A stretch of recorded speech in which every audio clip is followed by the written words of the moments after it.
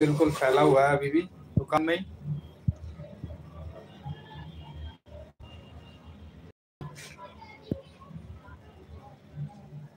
ये पहले बनाई हुई थी। ये थ्री डी वॉलपेपर है।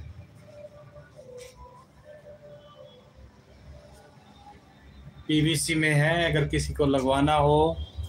ये पीवीसी वॉलपेपर है। बहुत ही ज़बरदस्त। अगर किसी के घर में नमी है, सीलन है तो वहाँ पर ये लगाया जाता है। दोस्त।